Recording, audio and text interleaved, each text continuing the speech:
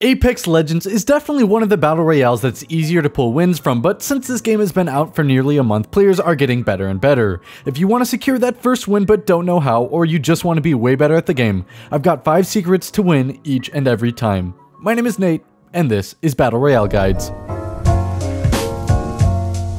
Before we get started, be sure to get subscribed and to follow the link in the description down below to get entered to our huge Apex coin giveaway. Also, this list is in no particular order, and obviously you're not going to win each and every game. I mean, the pros don't either, but this will definitely increase your ability to win games way, way, way faster. Coming in at number 5, be patient. You do not have to force a fight. If you're in a bad position and the enemy team does not see you, make an effort to reposition and get into a better place to take the fight. Rotate around and get high ground before they notice you and then engage. Taking a fight the second that you see a team not only alerts them of your position, but every other squad nearby. So if you're already in a bad place, it will just get worse once you have other squads rolling up on you afterwards. Be patient, try to take high ground, and then engage.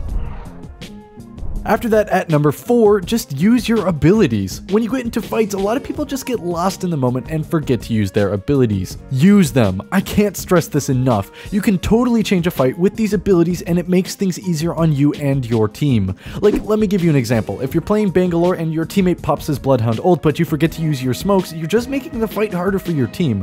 Whereas if you were to smoke the enemy and yourself, you make it way harder for the enemy to hit you and easier for your team's Bloodhound to take advantage of his ult and wipe the enemy while they're blinded by the smoke nades. It's simple in practice, but my randoms and squads never really seem to use those abilities as much as they probably could. Coming in at number 3, do not loot for too long. This goes for all stages of the game. From beginning to end, if you spend too much time looting and not paying attention to what's going on around you, you could end up putting yourself in a situation where you're surrounded by squads and you haven't even noticed them. If you're in the top 5 and just wiped a squad and you sit on their bodies for too long looting, you're just going to give every squad that heard that fight going on a chance to get closer and kill you while you're only paying attention to the loot. Keep in mind to what you need, scroll through the loot quickly, and move on. I normally think about what I'm looking for, whether it be specific attachments, better armor, or specific gun and ammo or heals, and just pick up exactly what I thought I needed and not worry just too much about getting that perfect loadout. You don't really need the perfect ideal loadout. You just need what you can to get kills.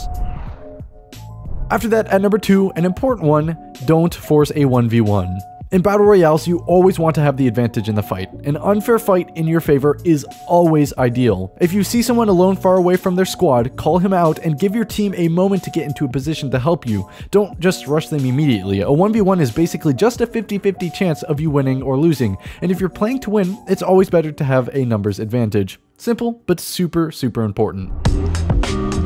And last but not least at number one, the best tip in my opinion, just play the zone to your advantage. You basically always want to be in a spot where the enemy is forced to come to you, usually because of the storm or them leaving to get ahead of the storm. Especially in the final zone, you don't want to be the team forced to move to another cover to get into the safe zone if you can help it. Try to predict the safe zones, and if you have a Pathfinder on your team, have him use his passive to show where it will be next and plan your next move accordingly. You can pull up that map and take a moment to plan your route. Not only do you decide where you get to take the fight from, but you also do have a really good idea of where the enemy will be coming from, which means that you can plan out the nades where you're going to be shooting and where you'll hide, whereas if you're that team getting pushed by the storm, you're just going to be at the mercy of the team that decides to mow you down when you least expect it.